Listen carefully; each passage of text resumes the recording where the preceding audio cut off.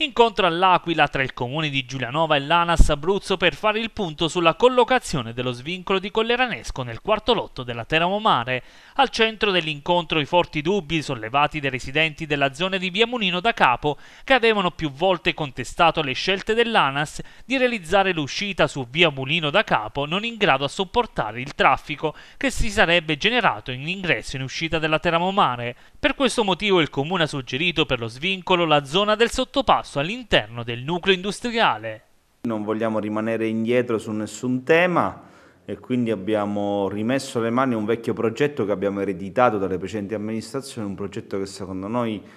non va bene perché prevedeva determinate uscite, metà tracciato sul territorio di Roseto, metà su quello di Giulianova, eh, con evidenti problematiche con i cittadini che risiedono in quelle aree.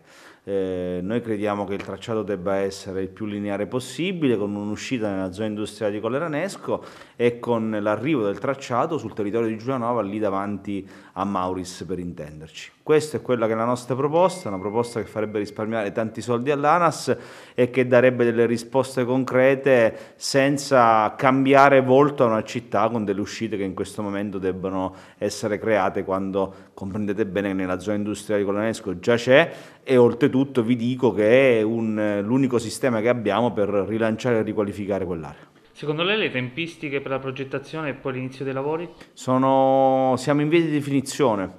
nel senso che io penso che entro il 2021 eh, il progetto definitivo verrà comunque presentato in conferenza dei servizi e nel 2022 partiranno i lavori. Mi dicono che sono molto rapidi, nel senso che fondamentalmente sono tutti in prefabbricato, su un plinti in cemento armato in immersione, quindi fondamentalmente in un anno e mezzo, due anni dovremmo vedere il completamento dell'opera. Eh, noi vogliamo assolutamente cambiare eh, quanto ereditato dalla precedente amministrazione con un tracciato che secondo noi è totalmente sbagliato. L'ANAS, eh, devo ringraziare tutti i dirigenti, i massimi vertici dell'ANAS regionale e nazionale